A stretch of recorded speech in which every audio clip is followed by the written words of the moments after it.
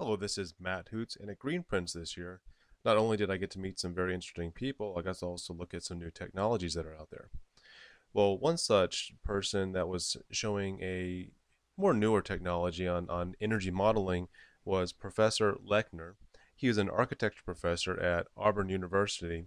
Now, Professor Lechner is going to explain to us the principles of a this device that you see is called a heliodon.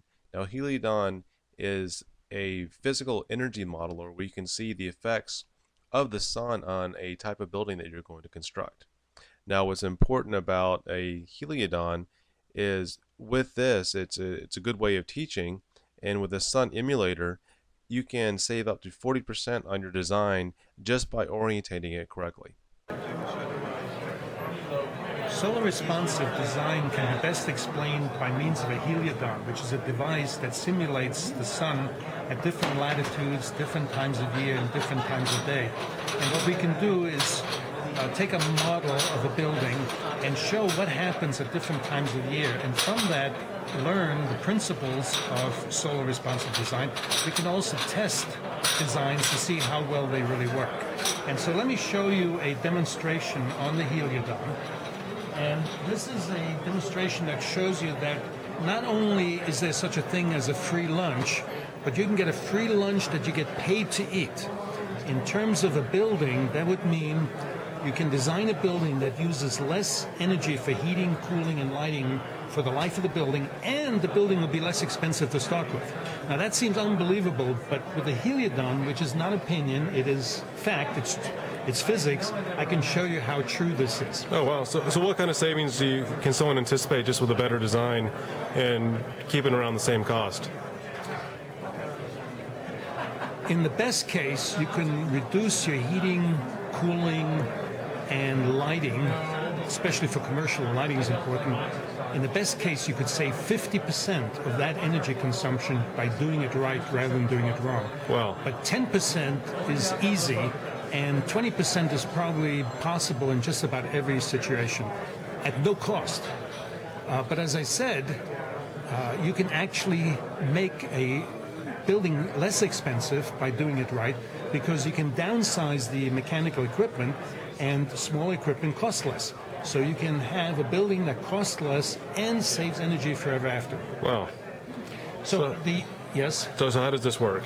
All right, let's go through this little scenario of uh, what happens with buildings at different orientations. Let's say you're building your dream home and you're looking for a piece of land to build on, and you find one on a north-south street. This is north-south on the Heliodon. This is east-west. And but before you buy it, you uh, want to see if there's something better. And sure enough, right around the corner, there's another parcel of land. It costs exactly the same. You already know what you want to build on that. So there's no difference in cost. It's exactly the same whether you build on an east-west or north-south. But let's see what impact there is on the energy consumption. Let me use a, uh, a hot month like July to represent the cooling load on a building on a north-south street. Notice that the long facade is facing the street. In suburbia, that is very realistic. And so in July, we find that the July, the summer sun, not just July, but the summer sun spends the whole morning in the eastern sky. And if you have a lot of east windows, that means you have a large cooling load. And then with this orientation, you also have a lot of west windows. So with this orientation, your building is getting blasted both in the morning and afternoon. You're going to have very high cooling costs. Your air conditioning is going to be large and it's going to operate a lot of the time. Now, what about in the winter? So let me pick a cold month like January. The sun now rises south of east. It does shine into those east windows for a short time, but it's the south windows that we see a simulation now of winter. And you can see that the south windows, this is 12 noon, are getting most of the getting the sun. But also notice that the buildings are shading each other to some extent. So in this case, with this orientation, you get very little help from the winter sun and helping to heat the building, and you're getting blasted by the summer sun. So it's a bad situation in both seasons.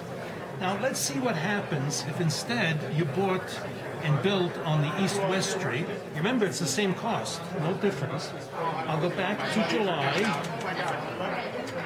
Now, because of the different orientation of the street and therefore the building, most of the windows are now north and south, few windows on the east and west, and the buildings are shading each other. So the cooling load in the summer has dropped dramatically.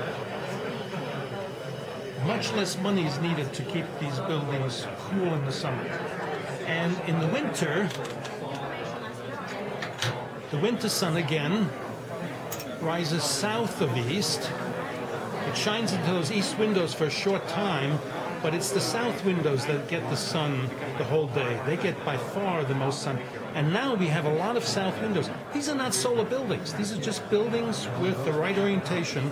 By having south windows, you get a lot of help from the winter sun, so your heating load and your heating bill is greatly reduced at no cost. Actually, building on this orientation will cost less because your air conditioning system is going to be smaller and therefore less expensive. So you have a free lunch that you get paid to eat.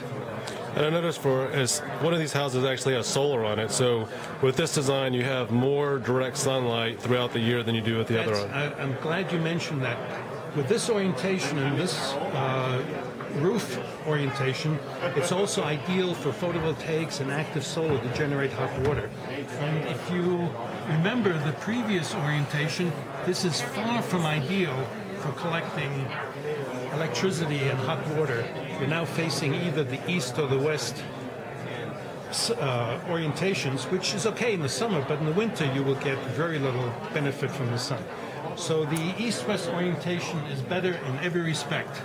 And unlike what you might think, that half the people have to be losers,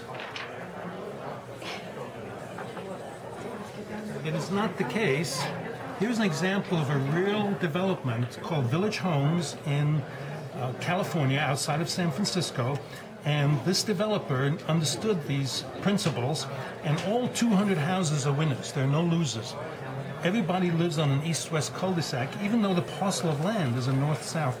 A, a normal developer would probably have made more losers than winners. Oh wow! So with knowledge, everybody can be a winner, at least in new developments.